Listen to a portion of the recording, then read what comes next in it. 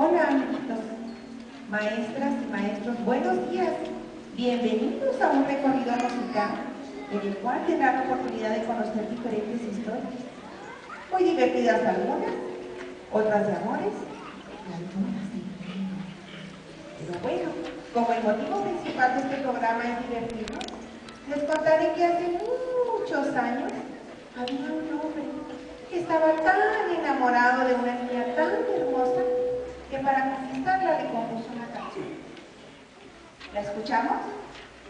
Esta se llama La niña que a mí me quiera y es una canción tradicional de Venezuela.